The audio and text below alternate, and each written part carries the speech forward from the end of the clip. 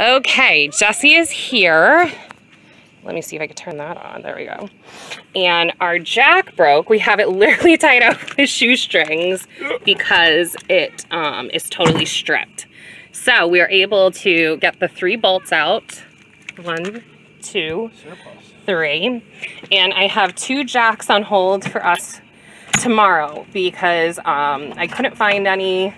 They had to order them. Oh, we're taking that one out um, and our jack broke when we attached. So we haven't been able to detach from the truck.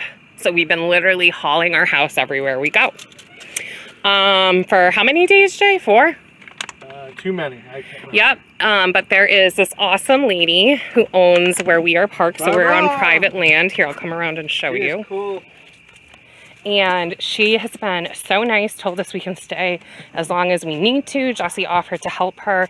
She's so sweet. The kids um, made her cards saying thank you. So this is where we're parked at. And she owns everything up to the light posts.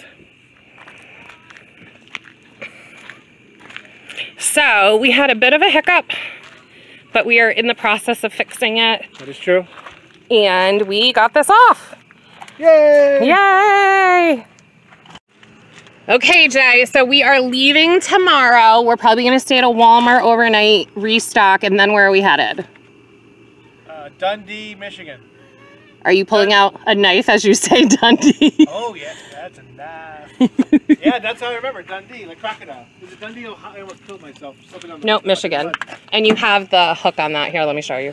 Watch, hold this. See, it has My wife's going to show me how to work. it has the gut hook on it, so you can kind of just go like that. Oh, she showed me how to be a man, folks. And then this should pop out there. Delicious. Let's stab with the knife. See, good knife to have, a nice hook on it. Dundee!